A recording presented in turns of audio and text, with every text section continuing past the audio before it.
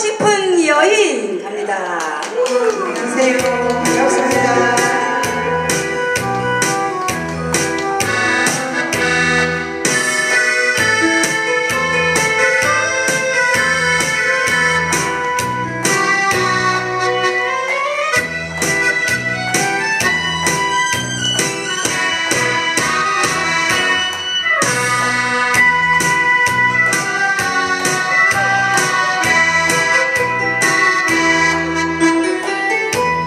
사랑해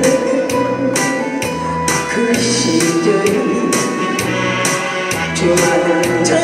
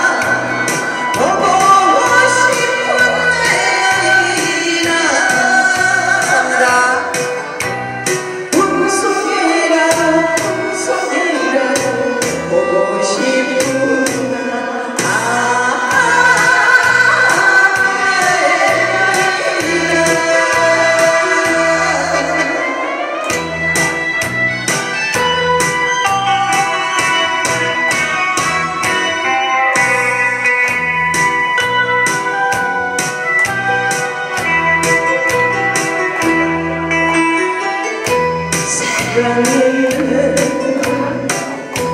그 순간이 내 마음 속에 젖